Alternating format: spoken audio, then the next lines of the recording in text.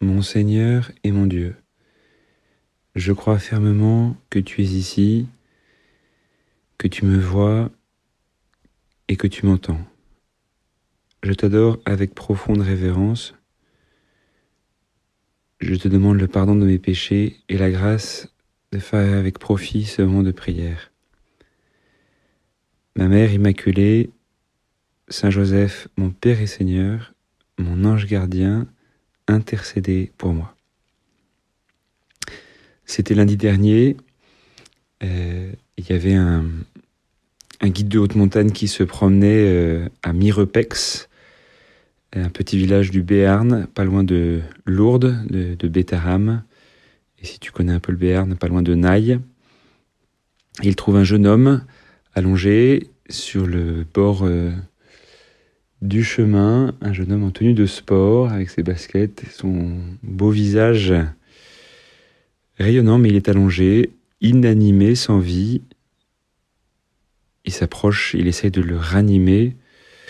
C'était peine perdue. Une, une pompier réserviste s'approche aussi, essaie de le ranimer, mais c'était aussi peine perdue. Ils appellent les gendarmes.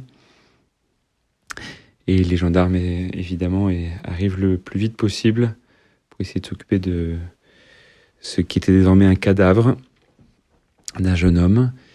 Et, euh, le problème, bah, c'est que quand on est en tenue de sport, on n'a pas forcément de papier d'identité sur soi. Et donc, il faut trouver euh, qui est ce jeune homme. Alors, il n'est pas du village de Mirpex, donc ils sont un peu circonspects, ils cherchent, et puis euh, ils voient autour de son cou un, croix, un crucifix, et puis un bout de tissu, un bout de tissu marron. Euh, et alors, il voit ce bout de tissu marron sur lequel il y a une image de la Vierge Marie, de toi, Notre-Dame. Et puis, euh, ils se disent, bon, bah tiens, ça doit être un chrétien. Euh, c'est rare ici de, voir des gens avec un, tissu pareil. On va, on va le prendre en photo, ce jeune homme, et on va envoyer la photo aux prêtres et, diacres de, des environs, en particulier d'un diacre. Un diacre, c'est une personne qui est là pour euh, s'occuper particulièrement des pauvres et des malades dans l'église. Donc il y en a un qui habitait pas loin et puis donc il, lui montre la photo de ce jeune homme. Euh, et le diacre un peu perplexe dit ben non je je reconnais pas d'autant plus qu'il lui avait mis un, sparadrap sur les yeux pour les maintenir fermés.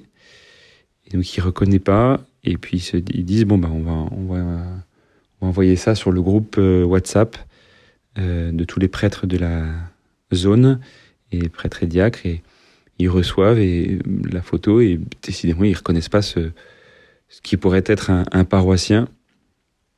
Jusqu'à ce que l'un des prêtres, l'autre vicaire, donc dans une paroisse il y a un curé qui est responsable et puis les autres prêtres peuvent être euh, vicaires, c'est-à-dire qu'ils aident le curé dans la, charge pastorale, euh, écrit sur le groupe WhatsApp Je rêve ou c'est Alexandre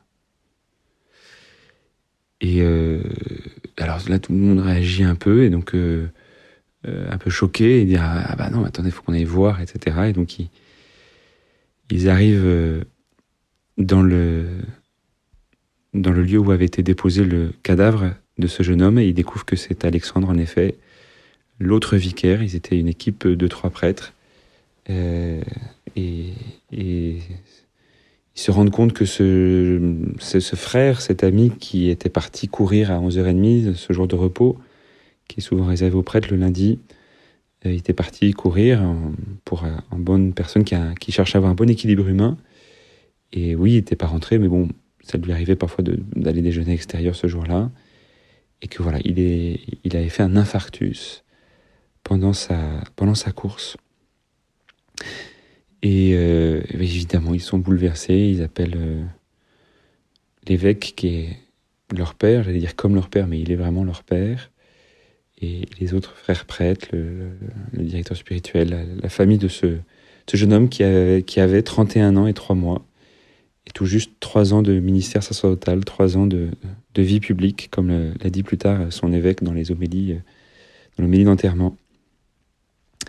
Et, euh, et tout de suite, ben, ils sont bouleversés parce que ça faisait quatre ans qui vivaient ensemble. Ils commençaient leur, leur cinquième année avec un, beau désir de vivre entre frères.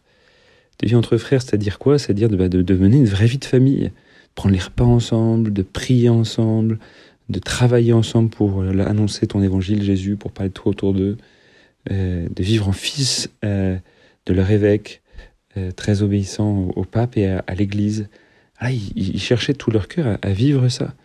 Et d'ailleurs, ce qui est, ce qui est frappant, Jésus, ce qui m'a frappé, c'est que, alors que j'étais aux obsèques avec quelques paroissiens, ils sont revenus en disant, mais, mais au fait, mais, mais j'ai compris quelque chose. L'évêque, c'est vraiment son fils qu'il a perdu de trois ans, petit-fils de trois ans qu'il a perdu. Et, et, et, vous, vous avez vraiment perdu un frère. Vous êtes vraiment frère. Et c'est vrai que c'est marquant parce que le cercueil, Jean d'enterrement qui était vendredi dernier, était placé au milieu de l'église avec les prêtres qui, euh, au lieu d'être tournés vers l'autel, étaient les uns face aux autres, un peu comme ce qu'on appelle dans le distal qu'on voit parfois dans un monastère.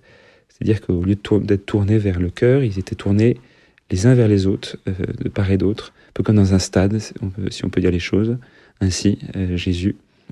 Ils se regardaient les uns les autres avec Alexandre au milieu, avec toi, Alexandre, mon, mon petit frère, mon grand frère, qui est euh, maintenant euh, la Vierge Marie l'a promis au ciel, j'expliquerai après pourquoi. Et toi, tu es au milieu de, de, nous, tu es au milieu de, de ta famille aussi qui était là en, bout de ligne, de ton évêque qui était là comme père à la tête, à côté de l'autel, et avec tes, deux frères Paul et Maxime qui étaient bouleversés, et nous tous avec.